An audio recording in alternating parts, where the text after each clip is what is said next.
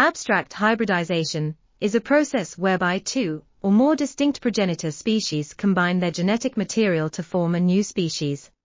This process can lead to the formation of polyploid organisms, which are composed of multiple copies of each chromosome set from the original progenitors. The resulting genome contains two or more distinct subgenomes, which are derived from the different progenitors.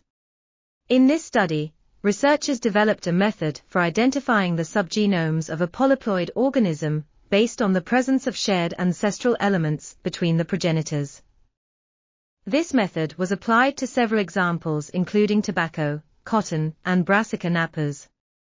The results provided insights into the origins of these polyploids, revised the subgenome identities of strawberry, and provided perspective on subgenome dominance in higher polyploids. This article was authored by Adam M. Session and Daniel S. Rokhsar. We are RTCL.TV, links in the description below.